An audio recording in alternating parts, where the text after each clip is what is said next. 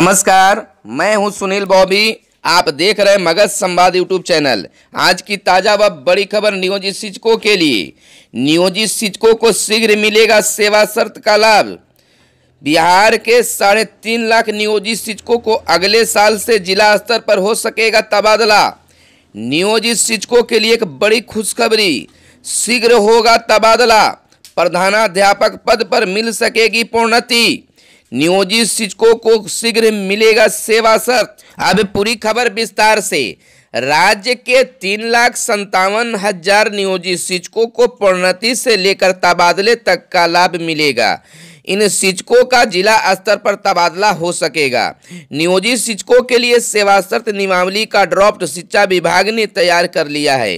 अगले साल मार्च के बाद संशोधित रूप से नियोजित शिक्षकों की सेवा शर्त नियमावली लागू होगी। बताते चले कि सेवा शर्त लागू करने के लिए शिक्षा विभाग को मुख्यमंत्री नीतीश कुमार की हरी झंडी का इंतज़ार है। लगभग चार साल से नियोजित शिक्षकों के लिए सेवा शर्त नियमावली लागू करने का मामला अटका हुआ है। सेवा शर्त तैयार करने के लिए विभाग में कमेटी बनी थी। शिक्षक संघों ने सुझाव भी दिया था। बता दें कि प्रारंभिक स्तर पर सेवा शर्त नियमावली का ड्राफ्ट तैयार कर लिया गया था, लेकिन समान काम के बदले समान वेतन देने के हाई कोर्ट के फैसले के बाद यह मामला अटक गया था। अभी प्रारंभिक और हाई स्कूलों में शिक्षकों का नियोजन चल रहा है। विभागीय अधिकारी के अनुसार शिक्षकों की नियोजन प्रक्रिया पूरी होने के बाद सेवा शर्त लागू होगी। विधानसभा चुनाव में अधिसूचना जारी होने के पहले सरकार इसे लागू कर देगी। इधर बता दें कि सेवा शर्त लागू होने के बाद नियोजित शिक्षकों को प्रधानाध्यापक पद पर प्रोन्नति मिलेगी। प्रारंभिक शिक्षकों को जिला स्तर पर नियोजन इकाई फाइनल होने की स्थिति में नियोजित शिक्षकों का अपने ज़िले में तबादला हो सकेगा।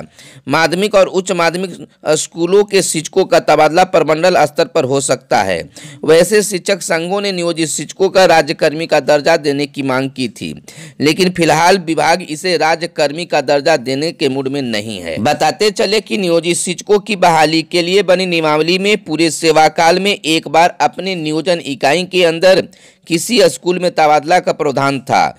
नवी, नई सेवा शर्त नियमावली लागू होने पर सेवा काल में अन्य सरकारी कर्मचारियों की तरह ही एसीपी और प्रोन्नति का लाभ मिलेगा। सेवा शर्त निर्धारण में सेवा निरंतरता, ऐच्छिक स्थानांतरण सेवाकालीन प्रशिक्षण, प्रोन्नति का अवसर एवं अनुशासनात्मक मुद्दों पर गाइडलाइन जारी दूसरी ओर बता दें कि राज्य सरकार ने नियोजित शिक्षकों को वेतनमान का लाभ दे दिया है।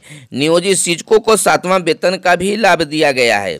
सेवा शर्त कमेटी की पहली बैठक 7 अक्टूबर 2016 और दूसरी बैठक 27 अक्टूबर की हुई थी। फिर 12 जून 2017 को तीसरी बैठक हुई।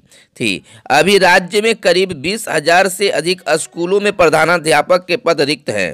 राज्य में बयालीस हज़ार सात सौ एक प्राथमिक स्कूल, तीस हज़ार एक सौ छिहत्तर मध्य विद्यालय और माध्यमिक व उच्च माध्यमिक विद्यालय छः हज़ार अड़सठ है। राज्य में अभी तीन दशमलव पाँच सात लाख नियोजित शिक्षक हैं। प्रारंभिक स्कूलों में तीन दशमलव दो तीन लाख शिक्षक हैं। गौरतलब है कि नियोजित शिक्षक संघों के द्वारा नियोजित शिक्षकों के लिए विभिन्न मांगों को रखा था। नियोजित शिक्षकों के लिए राजकर्मी का दर्जा मांगा। सेवा अवधि में मृत्यु पर आश्रितों को योग्यता अनुसार अनुकंपा पर नियुक्ति।